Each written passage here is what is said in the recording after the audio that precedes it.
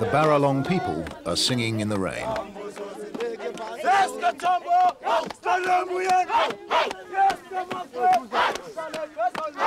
It's not the best weather to be moving house, especially when the place you're moving to is a patch of open veldt without even a shack for the kids to shelter in.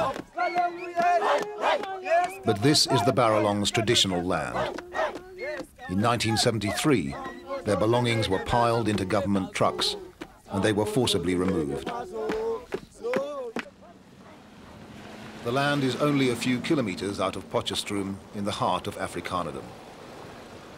For the apartheid government, it was a so-called black spot in country reserved for whites. Eventually, it was handed over to the local city council. But now, the Baralong are coming back for good.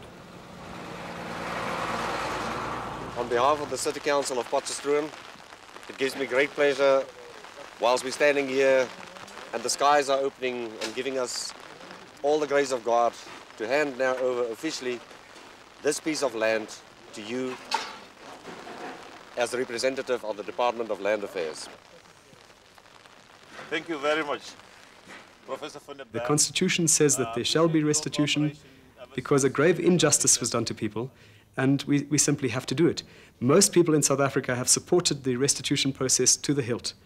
People recognize that um, shameful deeds were committed in the name of apartheid, and these have to be remedied. Yet even on this land, which everyone agrees once legally belonged to the Baralong people, agreement was only finally reached after the personal intervention of the federal minister. And there are thousands of such battles still to be fought, between black claimants and the government on the one hand, and the present landowners on the other. It's not going to be simple, and it's not going to be quick.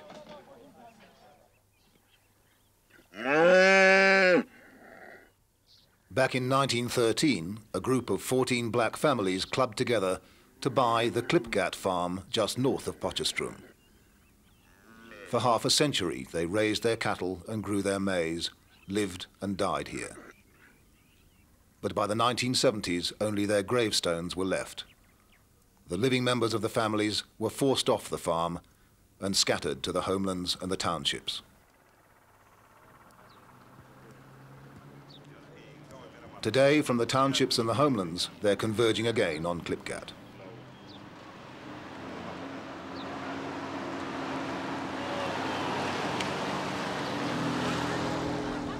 They've lodged their claim with the new Land Commission. Soon they're convinced they'll be back on the farm to stay. Now they're bringing the good news to the ancestors.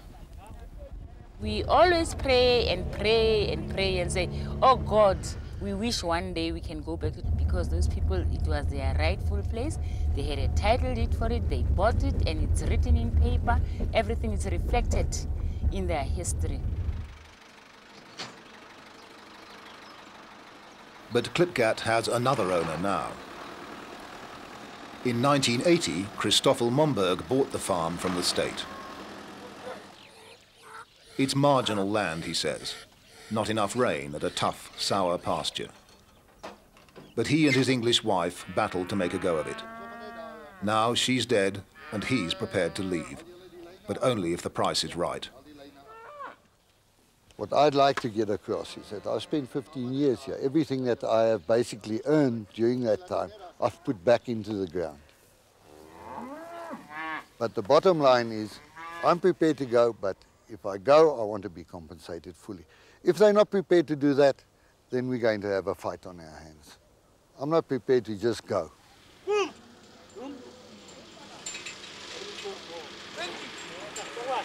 Momberg makes no attempt to prevent the caravan of claimants' families from gathering on his land to visit the graves of their ancestors. He knows that when it comes to money, he won't be fighting them, but the government. So when he meets them face to face for the first time, a wary courtesy prevails.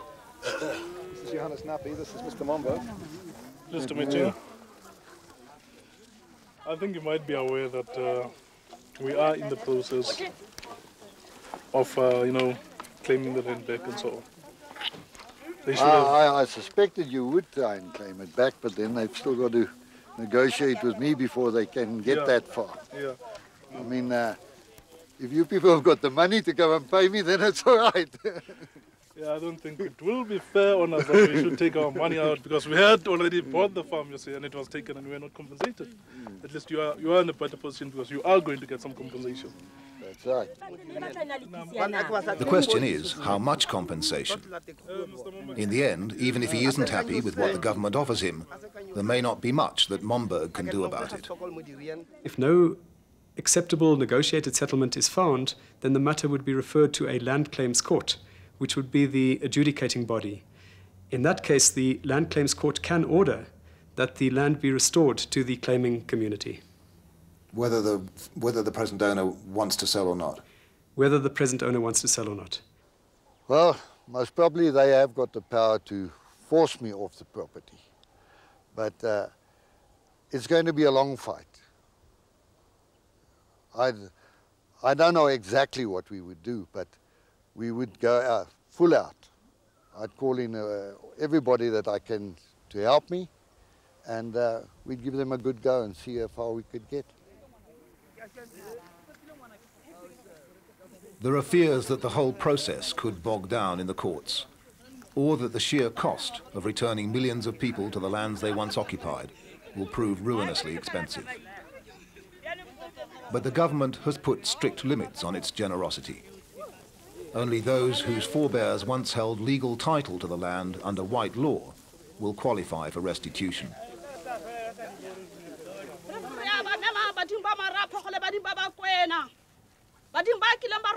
Thanks to the foresight of the ancestors, the claimants at Klipgat are almost certain to have their land returned to them.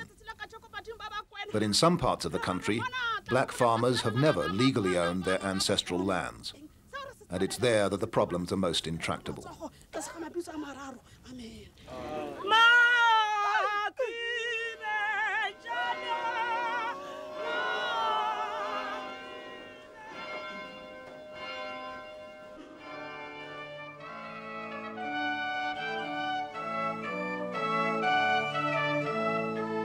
Sonia Kustas is marrying Bernd Schutter, and just about every farming family in a 50 kilometer radius is at Commondale Church for the ceremony. Der Friede des Herrn sei mit euch allen. Amen. Wir sind hier It's a godly and prosperous community, bound together by its Lutheran faith and German heritage. Fifty years ago, they built the church with their own hands, a little patch of Saxony in the African veldt.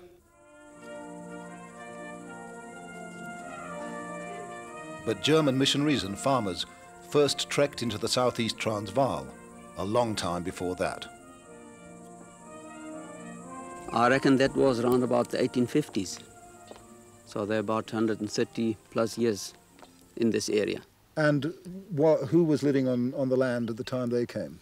According to the elder people, they say that uh, from here, from Commondale to, to, to the east, that was malaria area. And there were no, no people around here. As the German farmers tell it, the Zulus who live here now were invited in from Natal in the south to work on the white farms.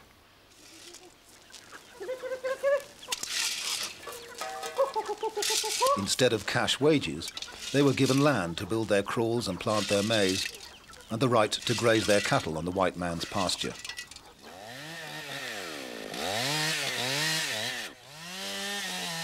But these days, the real money is in timber.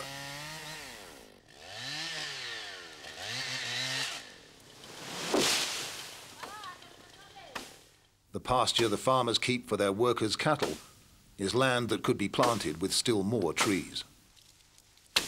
The old labour tenant system, the landowners say, just doesn't fit with the needs of a modern commercial operation. I think that's a more feudal system, and, and, and that has been proved uh, everywhere that, that that isn't a good system. So, what is the system that the white farmers would prefer to have here? I'd like to have uh, fully employed people. So in recent years, thousands of labour tenants have been forced to leave the land they've lived on for generations. Mishak and Gilbert Mavimbela claim that their family has lived at Mantonga since before the German settlers even came to the Transvaal. I heard this history from my father, as my father told by his father, as his father told by his father. I don't know where it started from, but I know that they were here since the whites were not here.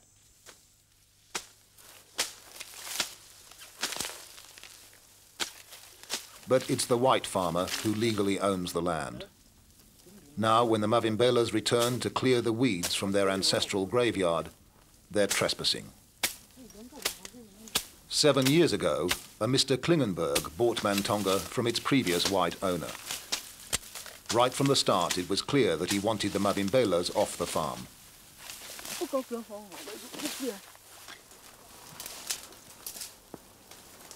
For two years, they tried to stave off eviction. This one. This is a, a room.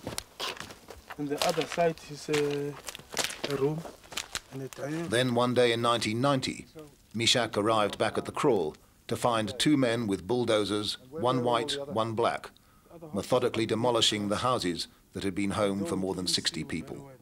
I was stopping the whites. I'm asking the que- some questions. What are you doing here? He said to me, is the uh, owner of the farm. He harassed him to demolish all the houses down. So they knocked down Yes, every he house. knocked down uh, every houses, and our Even our was finishers, inside. Our materials, everything were inside. And you had you had no warning that this was going to happen. No, it didn't get anything. We, we, we just know that we are living here, so we just go. to It's just the same old story, say the Mavimbela brothers. We are the blacks. The whites do what he like to us. We follow their instructions. If he said something, you must respect him. But Mr. Mandela is the president now. Things should be different, shouldn't they? It is so. Although things are not all right as from today. And that, says old Jotham Zwane, the Mavimbela's family friend and an ANC activist from way back, is the worst of it. After a full year of the new government, the evictions are still going on. Many, many people, even now, they still push them off. Even now? Even now. I think in certain parts of the country it's, it's perfectly true. Things have got worse. People have, uh, farmers have been evicting uh, labor tenants and in certain cases evicting uh, farm workers from their land using existing legislation. But we're tackling it head on and we're saying that we, we believe there has to be strong protective legislation to pre- prevent further evictions. Meanwhile, many blacks believe the white farmers are getting rid of their labor tenants while they still can. Among the guests at Bernd and Sonia's wedding, we found Helmut and Irmgard Klingenberg. But Mr. Klingenberg refused to talk to us about his treatment of the Mavimbelas. The community's chief spokesman, Hori Hinza, wouldn't discuss the Mavimbelas either. But he told us that in general, the evictions could be blamed not on the farmers, but on black activists. Tension is building up because there are people and organizations who create false hopes by people. They come and tell them, listen, hold on to the land. You don't have to work for, for the landowner anymore. Whatever the reason, this is where people like the Mavimbelas end up. In squalid rural townships like Kwatandeka, 100 kilometers north of Mantonga.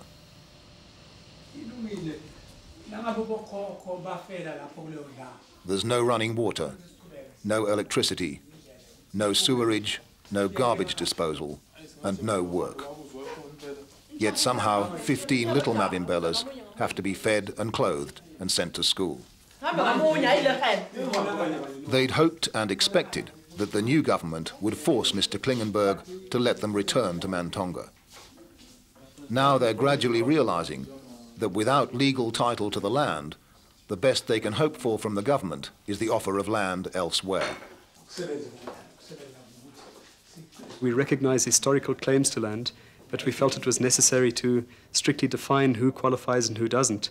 And clearly, uh, you cannot, cannot allow everybody, um, everybody who lost their land as a result of some law or another to go back to their original land. If the Labour tenants are not allowed to go back on their land by the new law, hmm. what do you think the reaction of people here will be? I think the people will fight in much concerning of that. They will fight. They will fight against the government. Against the farmers or against the government? I think against the government. sicela nje ukuthi selekeleleni nani bantwabethu nani bogogo nani bomkhulu nani bokhokho sicela nisilekelele sibuye la sizoba- sizonigada noma nathi sihamba siya kini sihambele la kini. Siyacela ney'nyawo zakhe. Akukho esingakusho okunye. Sicela nje lokho. To turn the clock back half a century and put back together what apartheid tore asunder won't be easy. There'll be many who lose out.